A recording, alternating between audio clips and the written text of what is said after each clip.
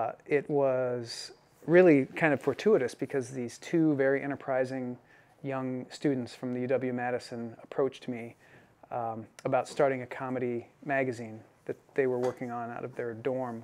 It was a very easy decision for me to make. Uh, it was all the money I had in the world. I cashed out every bank account, all my savings, uh, and, and put it into this totally untested, uh, you know, campus newspaper.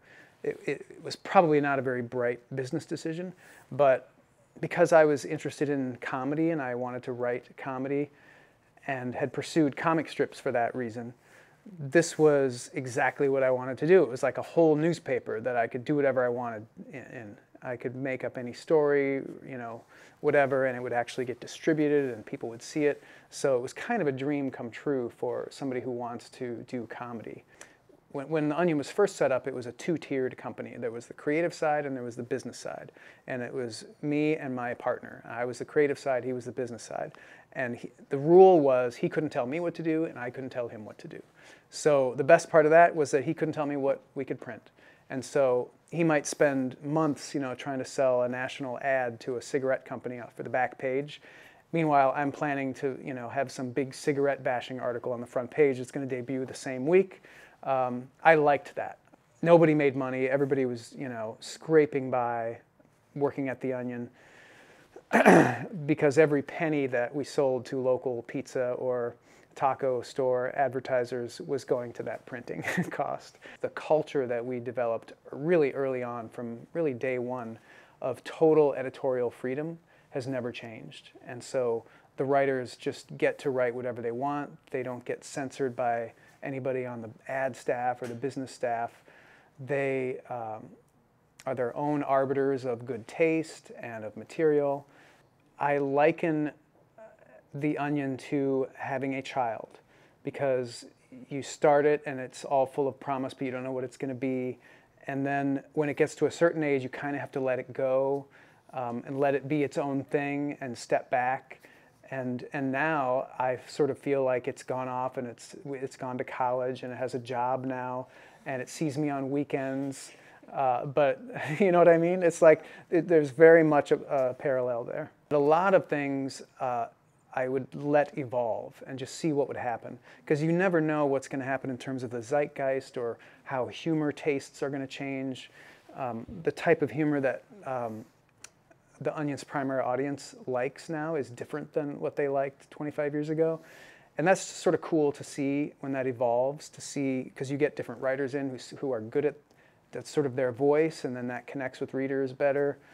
Um, and you just can't, you can't predict, and you wouldn't want to predict or plan for that. But it's really cool to see that sort of stuff change, just like the very subtle change in um, the tone of the onion and like what the voice is at any given time is really cool.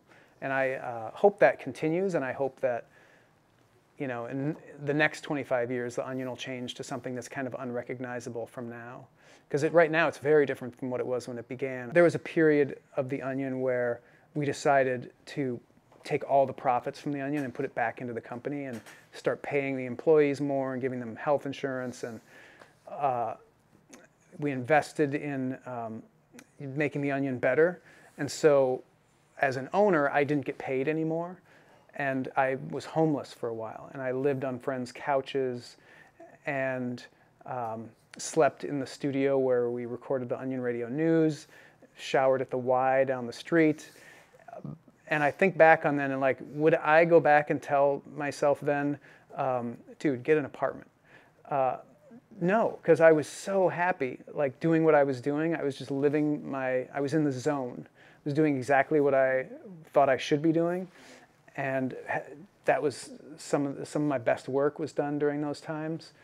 Um, so maybe I would, I would go back and say, um, you know, don't worry about the money, just keep doing what you're doing you know, because a lot of times, especially in this culture, we're motivated by money. Well, I have to do this because I have to get a job, because I have to pay for X, Y, and Z. You don't have to pay for X, Y, and Z. It doesn't matter. Don't worry about money.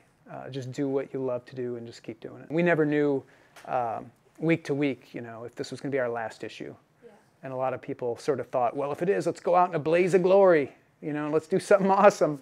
It's, there's so much energy and um, it's like at the Onion whenever we would hire young writers and I would train them. Um, that's just like the lifeblood of comedy, you know, people with a new, fresh voice. And I feel like there's a lot of enthusiasm and energy on a college campus, you know, kids who uh, just are at the beginning of their professional lives potentially, which is so exciting to just sort of get their ear for a second, you know, at that crucial time is pretty awesome.